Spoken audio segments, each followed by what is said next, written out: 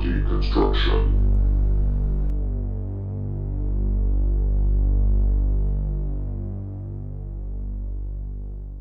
What's up, everybody? It's Horror Deconstruction. You can find us at horrordeconstruction.tumblr.com, youtube.com slash Horror Deconstruction, as well as facebook.com slash the Horror Deconstruction with your host Comp, Pissed off asshole. as well as Dingo. today's film um, is Night of the Comet, 1984. Four. You see, Danny, this is the part where you had the information and you said you were going to oh, say oh, it. yeah, right, right. I have the information. What a great guy Directed this. by Thom Eberhardt. Um, starring Robert Beltran, uh, Catherine Mary Stewart, Kelli Maroney, some other people. Notice how Danny instantly went to the man as the lead of the no, film. I'm reading Very in funny. order. Yeah, Oh yeah, I bet, Danny. I'm sure. It's So order it's in. I'm sure we know who he's voting for this year. So Thea, it's Thea's time of the month, which is November every year in the Horror Deconstruction, which we have Thea pick four movies because it's not like five movies she can pick usually.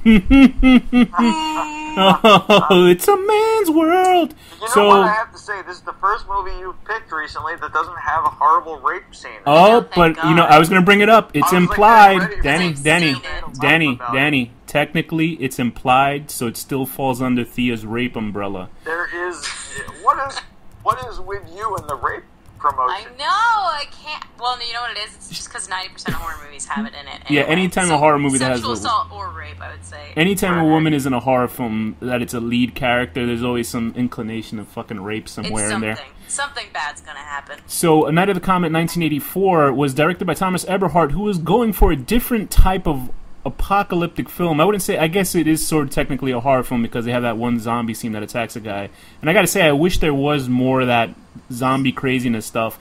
And I'm gonna uh, go about the poster like I haven't talked about this before, but like I said, my favorite poster in the world, The Night of the Yeah, Comet we poster. didn't do a whole take and then fuck it up. No, not at all. T- nothing happened. This is like the alternate universe. This is a spontaneous episode here. So Go the- on. You guys are gonna keep this movie forever because of this. So, Thea, why Uh-huh. did you pick uh, Night of the Comet, uh, the 1984 comedy horror science fiction film?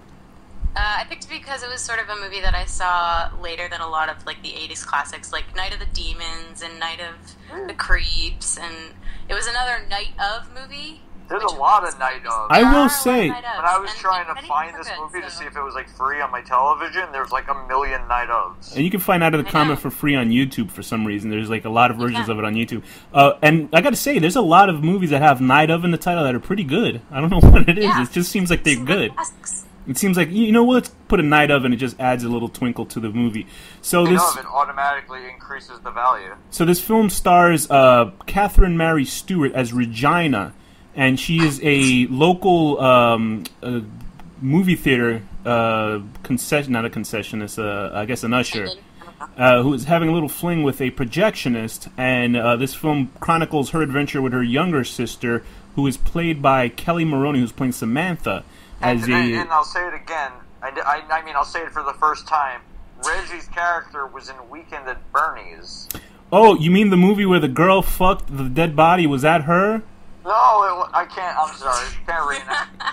the girl, not Andrew McCarthy. The other guy is dating her. Should I bring up the thing I thought I said about mannequin, or should I just not bother? Because that's it, totally irrelevant to the It storyline. wasn't that funny of a joke. I wasn't making a joke. I was just making an observa- observation. As a, very good. So this film is about a obviously a comet that wipes out most uh, of life on Earth. How, Thea, how does this movie start out? So it starts out with uh, a guy announcing basically that this comet has finally come close enough for people on Earth to see it, and What an then it sort of, and then it cuts to all the various uh, celebrations and parties that are being held to watch the comet together, as people do sometimes. what the hell was that? that was like some sort of third country English or something. Uh, do That's you? right. You know how many movies start off with a comet? Night of the Creeps, Killer Clowns. So this many. Movie, aliens. Killer Mario Clowns, Brothers. Night of the Living Dead. Uh, it's well, Night of the Living Dead, not really, but yeah, uh, it's sort of like um, i it's sort of an easy way to just throw it. Hey, Spider-Man Three, one of the better ones, or maybe it was a Spider-Man. Oh yeah. God. So um, yeah, I think. Uh, what did you guys first of all think of? Armageddon. What did you guys think of uh, of um, the narration? Are you used to that? Or you sort of miss that in films when they have a third party narrating it's the beginning of a movie? Actually, it immediately is like, oh, this is gonna be like a cuddly movie. Does That's it give it a? It does it give what it? I A, like about this movie is it gets very quickly to the chase. yeah, it, I gotta say this film feels like three short films put together, but it doesn't feel disjointed. Although I do feel it goes a little weak towards the end, but I still Yeah. think it's a great movie. But um, so Thea, you saw this film. You said late in the game of actually watching horror films. Uh, Do you you felt how many? Um, do you say you've seen more horror films from the '80s than you would have like in the '90s and the 2000s? Or I'm not saying living I, in the '80s, I but think I have probably uh, only because I, I really like 80s horror movies and I feel like it was a good do you think that's just the best decade. the best Is it decade for something horror? Their hair? Is it? Is it I don't know. the You music know what they it listen is? to? You know what it is? It's something. It's just like it was a time when everything was about sort of like having fun and being frivolous and being silly with things, and they just That's true. a lot of 80s movies, especially horror movies, just felt fun. Like they were just having a good time. Like it wasn't. They weren't taking it too seriously. I think so So that's a lot of them were fairly like goofy and like silly and fun. I- honestly, I like think a that- lot of horror movies. I think that goes for most of the films from the '80s. Like uh, you got E.T. and Not the every- Goonies and stuff like that. Obviously, there's some dark movies like, uh, like uh, Five, Last of the that kind American shit. Virgin and stuff like that. But I think what happens is there was sort of a revolt against. Uh, I listened to the Bret Easton Ellis podcast. Thea, if you know who that guy is, he's the writer of American Psycho, and he does talk about how there was sort of a, a bleak nihilism from '70s cinema, where everything sort of had everybody dying at the end of their films. And what really stopped it was Jaws and stuff like that, movies from the '80s that sort of had this more positive approach. And I think it was probably like a, a an upswing financially for the United States that a lot of cash sort of was coming in, the Reaganomics and all that shit. Oh, that's going down the tubes pretty So, so um, uh, apparently a lot of films some sort of had mostly had a positive message, even if it was like Ni- uh, Nightmare on Elm Streets or even Jason films. Some characters actually survived through the end, and there was like these weird sort of proto And they learned '80s stuff. References. And the thing with there this, are lessons, like in uh, in Nightmare on Elm Street, she gains all the powers of her friends, and they live on through her. did she have sex in part four? I forget. Did she get laid or no? I don't remember. Um, No, I don't I think don't so. Right?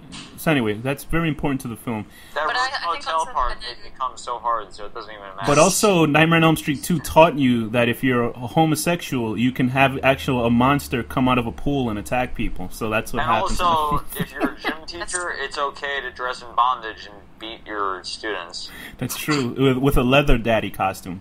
So, Exactly. uh, yeah. So, Night of the Comet is certainly a very unique sort of apocalypse film, and I'm. it is also very 80s. It is very 80s. What I like about it is it's essentially, and please, no offense at this comment, Thea, but it certainly is. It feels like a chick flick horror movie, um, It is and a I little mean, bit, yeah. and I mean that in the most positive of ways because it It, it reminded me of Adventures in Babysitting. Right, I got that Yeah, feeling bit, too. little. I got that feeling too. What I think, what really um, capitalizes on that sort of chick flick uh, idea for a film is that the two girls actually have a shopping scene at a barren uh, um, store, like a mall, and it's incredible because I was watching this, I was like, "Holy shit! This is this would be like any other film, but the the idea of these two girls having fun in the middle of the apocalypse is what makes it like so astonishingly cool." Um, Thea, how does I was this? totally going to shop. Because you absolutely would do that, though. Oh yeah, you? people I would because they're trying to find some. Well, ask fucking people on Earth, why not? Yeah, I think people would try to find some sort of escape. So Thea, how does this film start uh, uh, after that whole narration of the uh, uh, the the comet that's passing by the planet Earth, and it it implied about the dinosaurs dying the last time that it came through. So I assume we're supposed to be given this sort of inkling that this is bad news for people. But what are the, gonna go down. what are the people doing instead of fr- uh, being afraid in abject horror? People are like, "What? Check it out! It's a comet. Let's watch it." Is that like Seinfeld? That 'Cause is was pretty good. much what they're That's like. pretty much the whole thing. Yeah, so people are trying to are treating treating this more like uh, I just said the comet's Like a name big earlier. party. Yeah, like uh, Halley's comet. Seems Um, also to be happening around Christmas, which is only subtly sort of referenced and then very obviously very referenced heavily later. referenced throughout the rest of the film. Um, Oh, yeah. So I guess this is a Christmas movie too for so you guys. Reg is a movie. I'm a Jew, okay? How dare you? that's why No, they wiped you it. out first. So uh, I meant in the movie. I hope that somebody didn't take that the wrong way. so anyway, um, so Reg is the main character. She is uh, a character played by Catherine Mary Stewart. Her sister is Samantha, who is a high school cheerleader. And I think that's one of the things that I remember mostly about this film because I had I'd never watched it until like two weeks ago, and uh, I remember just I, I like that sort of character uh, when characters are sort of in uniform. I don't know if that makes any sense. Like wh- one girl's st- stuck in a cheerleader costume for the he rest of the to film. see women in their place, is what he's saying. Yes, it's exactly what I said. them to be individuals. He wants them uniform and ready to go for him. I'm literally uh, holding my testicles as I say this. Anyway, so sh the, the two sisters are uh, m- magically sur- uh, sur- uh, survive this comet. Both of them happen to be in steel buildings slash walls. They don't seem to Have care that common. anyone they know died. No one cares in this movie that their loved ones dies. Hector finds out his family dies. He doesn't care. Well, he I think he does sorta care. He goes to Yes, they're check he on does. them, alive. and then he comes back dressed in a Santa costume. Wouldn't you be crying So Hector's played Maybe he by was all the way home. Hector's in played Santa by Claus. for a Robert. Few is played by Robert Beltran, who is mostly known for his role as uh, was it what the hell is his name? That guy in Star Trek. Yes, he was in Star Trek. He was in Star, they thought of he was in Star Trek Vo- Voyager, playing Commander Chakotay, which I think was Native That one, American. Chakotay. Chakotay. So, uh, um, so he is a Hispanic character. I couldn't believe it because they make an offensive They racist joke. In there. Even at the end of the world, they will survive I like will cockroaches. I will say I love that Hispanic joke she makes where uh, he has a gun and she says, "What's this for a night in the barrio?" and he gets offended by that. That was pretty funny. Um, so it has two things I can relate to: being an usher and being Hispanic. Very good, excellent movie. Um, yeah. So anyway, this these movie was made for you. what what happens to people when they are exposed to this comet's bizarre radio- radioactive wave, Thea? So either most of the people who are directly exposed turn to red dust dried up by the comet, and then You it's think all you the could make clay with it if you added water? probably. You could probably build the person back, but go ahead, I would Thea. make a golem. oh Jesus! And then the people who are more indirectly exposed, they sort of slowly get this sort of like it's like a red madness of kinds that turns them qui- kind of into zombies. Like they don't have any memories or anything. They lose sort of uh, cognitive function, and then they just are very violent, Basically, We only saw like one full zombie and like half of It's another true. zombie. But like, but you can tell like when some of the others start to go, um, like they get more violent. Also, the people in the mall. And they those, also like, forget. guys in the mall. Those guys, yeah. When he took his glasses off, did he have no eyes? It looked I like. think, they, I think they were just white, just like like they go when they sort of start to turn. Oh, okay. So, like we said earlier, the film sort of feels like three. It has very three three different distinctive feels in this film. Um, that it's like three different films with three sort of uh, um, storylines that would be in their own sort of apocalyptic films. One's where the kids wake up and there's uh, nobody around, sort of that desolate desolation feeling. The second one is going into the mall. They're having this fun, and there's these psychopaths running around with guns, which could be its own Right. film. And then the third end is they sort of tacked on um, science, science officers Creepy scientist. running and trying to take their blood for nefarious reasons. Sophia, what is uh, what is the feel? What is, feeling do you think this movie conveys? Uh, what what do you think it was trying to go for? I, I don't know. Like, I think it was just trying to go for. I mean, to me, it feels like a like a sort of like a woman power ish movie. Just, but I think that's just because it's framed from the point of view of a woman. The second main character is also a woman, and then the sort of the love interest is the guy. So it's not like sort of the typical setup of one of your 80s horror movies where it's starring a guy and the girl might be helping, but she's always just like the love interest, basically. Right. Where the actual women are in charge and taking care of business in the film itself, and they're Yeah, actually they're like, moving the these story girls along. are like firing Uzis and shit. It's a lot of fun. Yeah, And and, the dad's like a military guy, so I guess that's how they, they explained it. It actually made sense, sort of. Mm-hmm. Right, they gave they gave reasoning to why these characters would be able to be so street smart in a sense, and they're you know because you see scenes where the younger sister is talking back to the stepmother, What I was and trying to imply is that we owe it to a man that these women are so strong. That's right. It always comes from somewhere. It's from a dude. It's the guy taught them, like, you owe a man for that, okay? But maybe they learned it from their mother, who probably died. No. No, their mother Never their know. mother was weak. Never go on. know. Go on. no, I want you to keep telling this joke because it's No, fabulously it's funny. Yeah, go for it. Go for no it, Danny. joke. This is a serious Bring it. story. I'm done.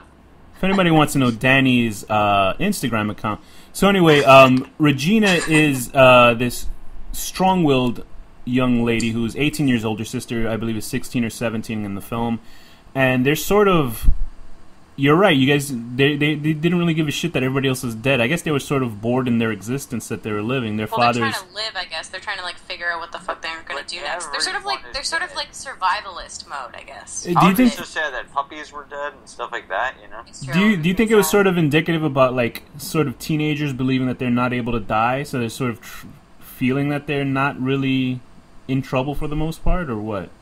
Maybe. I feel like it's a bit of that. And it's also kind of like the freedom that they suddenly have, right? They're not tied to anything. They aren't told what to do by anyone. Yeah. They just kind of get to do whatever they want, which is like simultaneously cool and terrifying. when we have a nuclear war in a year or two, I can't wait to be alive and just walking on everyone's glowing ashes. And just laughing at people. That's right. And then you're gonna see Yeah. a, a 20 foot radioactive you, Bernie, Doris. a 20 foot uh, Bernie Sanders running around looking and you know, imagine he stealing money. gets radioactive, he becomes like Hulk or something. He's just Toxic shooting. Bernie Avenger. He shoots you That'd be with like awesome. he has like radioactive breath like Godzilla, but what it does is takes your money out of your wallet. So Yeah, he um, throws. He has like a giant yarmulke. See, then Danny he, has like- to make it racist. Uh, no, he could throw it onto people and like capture their souls. All it. complaints to Daniel Hey, I'm a himself. Jew. I'm allowed to say this. Uh, I shouldn't have said that. So uh, I think uh, Thomas Eberhardt's goal for making the film, I think he said while writing the script, he asked teenagers for their input on what they would do if they survived the end of the world. So I think it's pretty uh, apparent, That's like kids are just fucking around. Yeah. So uh, and also it's the feeling that. Um, that it, it feels almost like positive because the kids don't go and they get depressed. Like every other apocalypse film I've ever seen, it's like really depressed. Like you look at The Walking Dead, and that's just sort of just being depressed for an hour every week watching that shit. Yeah.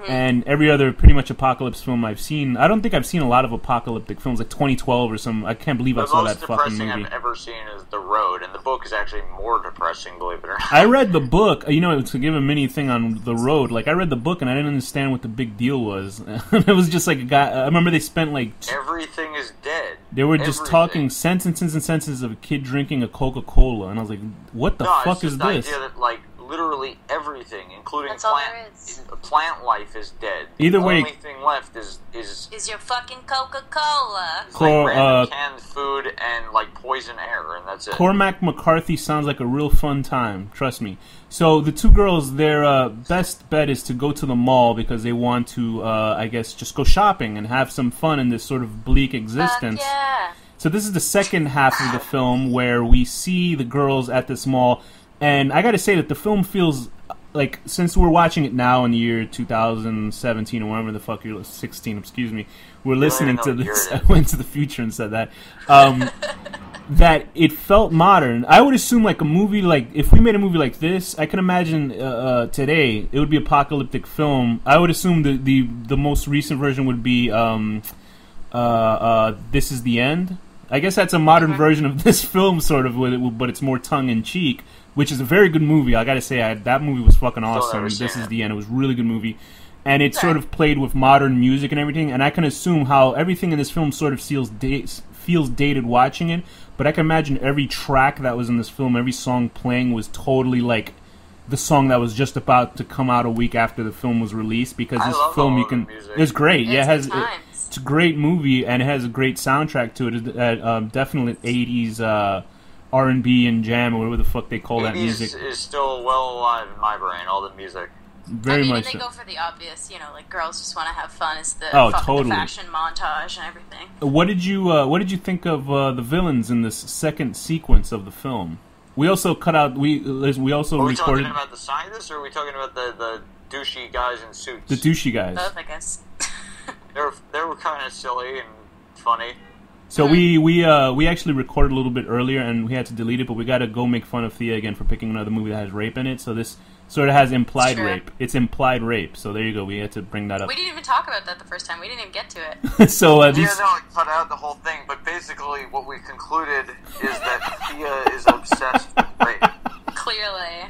She has some kind of sick fetish for it and chooses only movies that feature it. She was obsessed with I would, rap. I'd be interested to go back and see how many movies that you have reviewed in total that have some kind of sexual assault or rape in them, because it's pretty much most of them. Only the ones you chose, okay? That's right. That's right. Thea's next film is Irreversible. But anyway, um, so the the the the girls are confronted by these three guys, and it leads to this sort of tense showdown with uh, one of the guys shooting their own men, like every like you expect that in every fucking horror movie. Uh, why doesn't he just shoot? Uh, whatever. Uh, so the guys are want to turn them into their sort of playthings and just torture them. I assume because they're they've gone insane because of this uh, this radiation that's been happening from the uh, They look comet. sharp when they're doing They look cool. They got the shades on. They got the guns. They had the same idea that the girls did, which is go to the mall and raid the mall. I think they, yeah, I think they actually worked at the mall, and they just felt like it was now their territory, sort of I like. would absolutely do that. If I was going crazy, I would be sharp looking when I was killing people. That's right. Are you sharp looking right now? no, I'm completely So how would you know if you picked the clothes? you could see you picking the wrong clothes, like Bay Harbor clothing and shit. So um, at the same time, there is a third storyline going on that uh, has scientists in their little lab um, trying to figure out what's going on with the people that have been left behind. Uh, I guess these are scientists that knew that the comet were, was coming, and they decided ahead of time to stay underground. Yet and then kill everybody that survived. what happens is that they were still affected because I believe one of the grates uh, had holes Yeah, in they it. They left the ducts open or something. Yeah, Yeah. but that's silly because you're going to tell me that this movie theater was sealed off. Like, okay, there's no opening in the movie theater or a storage unit. I'm not arguing with that. Or air ducts. so one of the scientists, There's is- no air ventilation. It was sealed off like a bank vault. and it leads you to have this false idea that this female scientist was a villain in the film, which I wish she actually had stayed a villain in the movie. Because although I mean I was kind of happy Mm-hmm. I that the liked that turn though. I liked that she sort of turned out to not be. Right, I did like that too, but I thought it was interesting that they sort of had three villains in the movie, sort of thing. Like they had the stepmother, then they had the psychopaths, and then they had this uh, scientist woman. It was weird because it was literally watching three different storylines, all Well, congealed the to stepmother's not really a villain. She's just a bitch. And she's dead within the first ten minutes. yeah, Yeah. very You know, good. What a what a we know fabulous that she's dead? yeah. she's She, dust. She's on the ground. she picks up her They show her pants and she says, I "Look, thought this is she was her." just saying like generically like this could be her. I didn't know she knew it was her. Well, it was the Well, clothes that Danny, she was well, wearing, so when she's she like, was, well, when the last scene we saw was her outside with the rest of the people that turned into dust, I assume she turned into dust as well. you know what? And her clothes were on the floor, so You know what? exactly, What? very good. Enough. So, I um, want to. I want to make a smoothie out of her ashes. So um, the third set of villains, the scientists, I thought this sort of felt rushed. Like I would think in another film they would be the main sort of. Like it felt like, oh, we got to tack this on to have some sort of um, crazy, insane shootout ending, and it sort of feels a little bit too like, fuck, let's just put some, let's throw some, tack something on. I still like, Like the movie, right? Let's let's have a really big bad guy. Let's make the government the bad guy. Uh, although I don't think these people were directly the government, they it was like really haphazard, like It kind of reminded me of the CDC in Walking Dead. The oh guy that, god, the worst the episode. or whatever. Ugh, what a stupid episode that was. Um, but um, I'm sorry, Dan. I know that's your favorite episode. It's not my favorite episode. Well, you brought it up, so you must have liked it. So these uh, scientist people, uh, what are they trying to do? They're trying to drain the blood out of people for what reason? Because I completely what they're forgot. doing. So what has happened is Rituals. they're all, all the scientists basically were infected. Okay. Um, so what they did is they they found uh, the people who had survived and not been affected, and brought them back under the guise of safety and like helping them. And then they sort of it seems like they sort of like they put them under indefinitely, like into comas basically, and they're drawing the blood. Presumably, they sort of ish say this, but um, they're trying to come up with a cure. They're trying to kill me with a cure, but why are they killing people? Well, they're not killing them; they're just like Essentially turning them into blood banks, like if you've seen Blade Two or something like that. They'll just take in the body and they're just Stop letting. defending them. They can't. They can't kill them because they still need them to produce the blood to use to try and come up with a cure. So, like theoretically, they could bring these people back at some point, but it seems more or less like they're just not going to do that. All their bodies are ash. No, like the people, The not people that are sort of affected. People. I just mean like they're going to keep the people who have You know survived. what'd be anyway. funny? Imagine, like, you know, in like old Looney Tunes, like Marvin the Martian putting a little drop of water. Well, let's on wait the for this. This is gonna be funny, new ones. Imagine, like, they go around and they just put a drop of water in piles of ashes and they grow into people. I like it. no. so um. the reason I the reason I like that the that Audrey the um, the woman scientist who apparently is like, well, Thea, no, Thea, she's not the Thea, only Thea, one. I Thea, guess Thea, there are Thea, Thea. It's- there. Um, It's scientisticists. Go ahead. scientisticists. Um, the reason I like that she has that turn is because she realizes from herself that the and she says this that the um, the sickness is sort of accelerating. Right. 'Cause It's she's forgetting on stuff herself. Right? Since yeah. she says they only have hours, they don't have weeks to figure out a cure, which means that they're not going to in time. So she Oh, realizes this, and that's why she doesn't kill Samantha like she's supposed to. She lets her live. It's uh, but knows it that- it sort of feels. that- Go ahead. I'm sorry.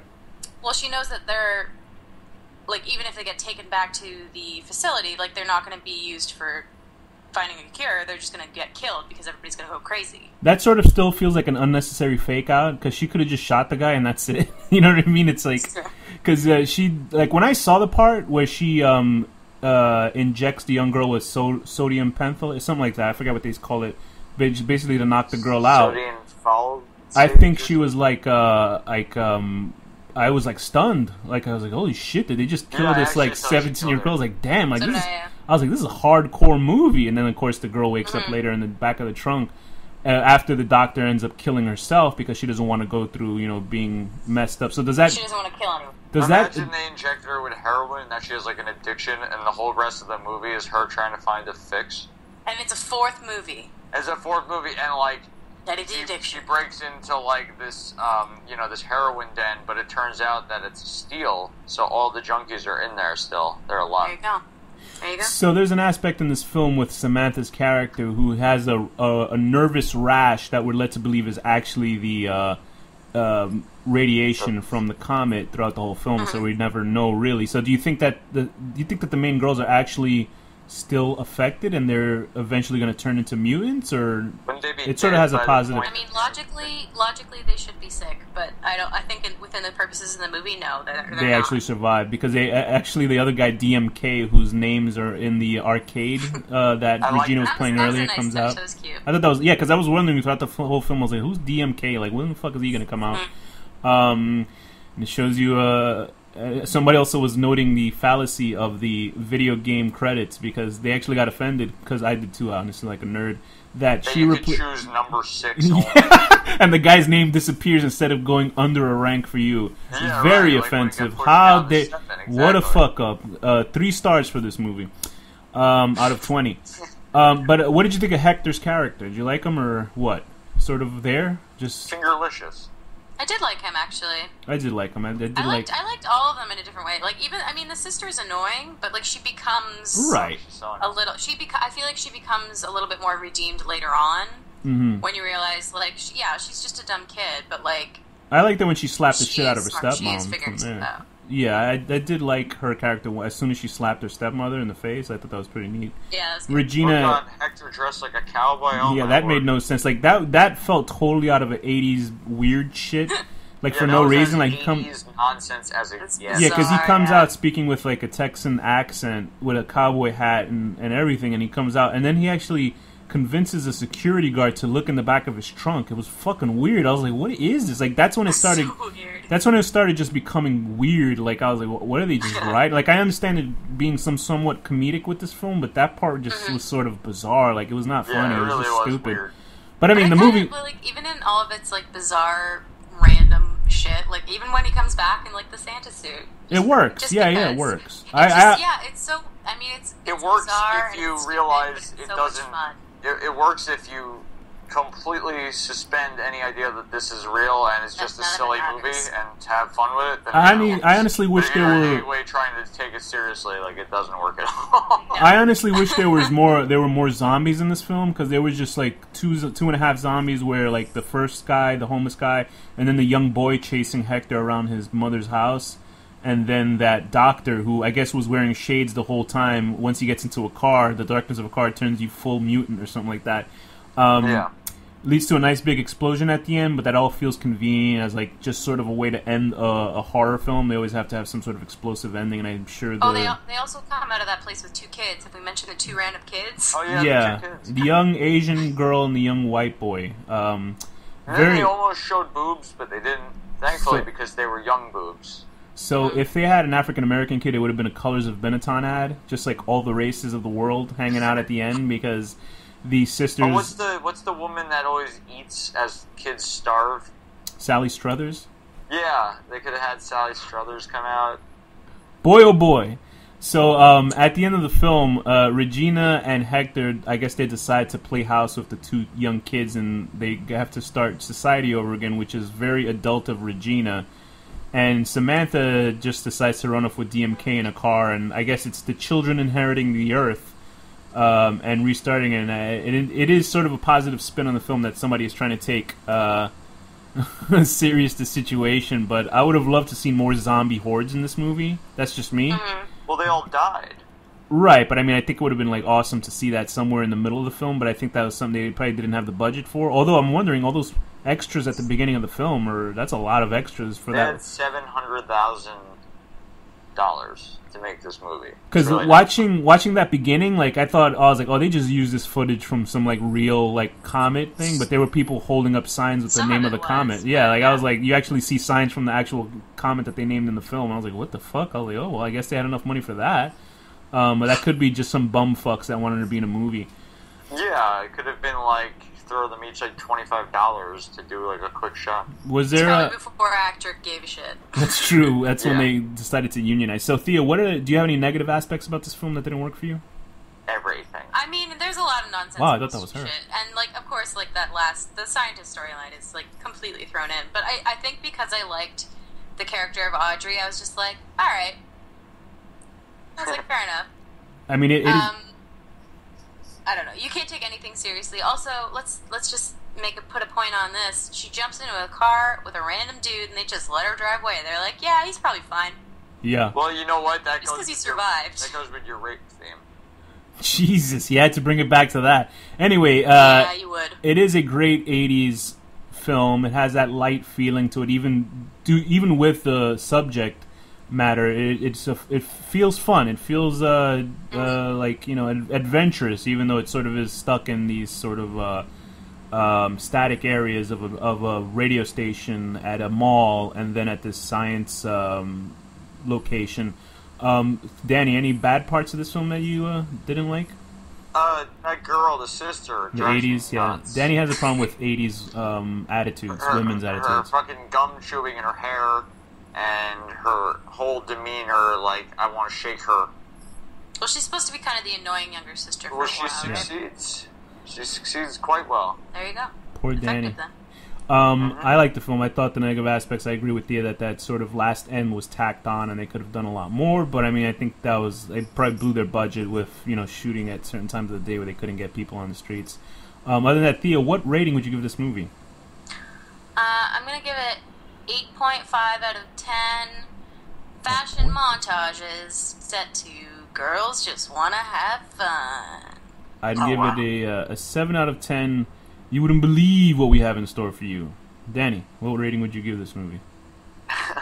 I'm gonna give it uh, a seven out of ten. I agree with you. Seven out of ten. Whoa. Um, oh, seven Danny out of could 10. never, uh, ever dressing like prepare. a cowboy for no, no discernible reason, so that you could distract a guard by pretending that a girl is dead for no possible reason, when you could have probably just drove up and shot him really quick. It's wonderful how Danny had no idea what to say, and then he did, and then he just kept going on forever, You much know after the point he couldn't. talk, okay? So Thea, what's the final word? Bling. Danny, what's the final word? Spoiled banana peel.